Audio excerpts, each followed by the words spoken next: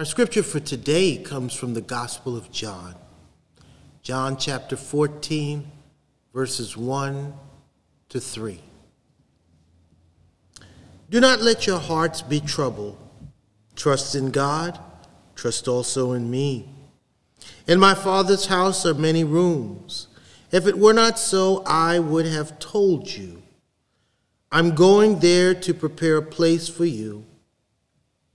And if I go and prepare a place for you, I will come back and take you to be with me, that you also may be where I am. John 14 to John chapter 14 to 16 records Jesus' farewell discourse. And so the context uh, for this particular passage here is Judas is about to betray him. Peter is going to deny him. And the other disciples will desert him. This tight knit group uh, that has spent the better part of three plus years together is about to experience a series of events that will turn their world upside down. The trauma of witnessing Jesus being beaten to a bloody pulp and then crucified will scar them for life. And so here in John 14, Jesus stops. He stops and takes time to be a voice of comfort. Jesus knows what they're about to face. And he says to his friends, he says to his disciples, don't worry about it. In the same way you believe in God, you can also believe in me. And you know, I, I, can imagine that the disciples are probably wondering, what is Jesus talking about? In fact, I imagine James leans over to John and says, This is just Jesus talking. But Jesus is doing more than just giving a soliloquy. Jesus is demonstrating his love for his team. Jesus was caring for his team. Jesus was telling them, guys, it's going to be all right because you can trust God and you can also trust me. Jesus was demonstrating for them something that they would have to do for others at some future point. Care for those who are facing extremely difficult circumstances. Jesus was teaching them that even in our absence, the words of love, compassion, empathy, and caring we offer those in our inner circle and on our teams can be a source of comfort for them during the tough times they face. You know, we don't realize the impact of words. And we don't really take into account, as team leaders, as parents, as good friends, as supervisors, the difference a well timed word of encouragement could make in the life of someone who is hurting. And so I need you to think about this that Jesus was preparing to face his own death. And he takes time to encourage those who would be most affected by his death. He says to them, It's gonna be okay. It's gonna be okay. Let us pray.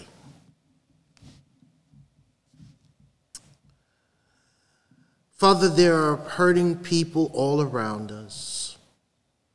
Sometimes we sit in the cubicle right next to them. We live next door to them. We pass them, we say hello and good morning and goodbye, never really taking into account that a word of encouragement, a word of caring, can truly make a significant difference in the life of those around us.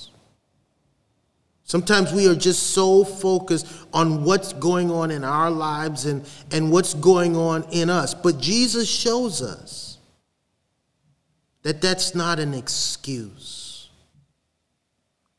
to be or to allow you to speak through us to let someone know that you care.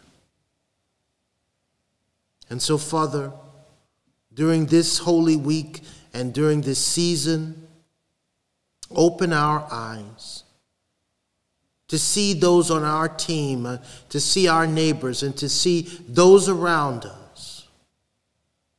And then fill us with your spirit, speaking through us words of encouragement, and words of comfort. In the name of Jesus, we pray. Amen.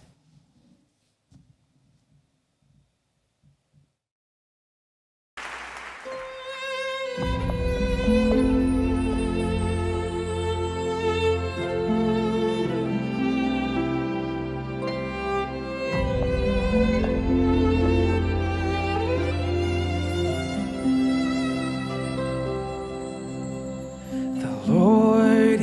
makes me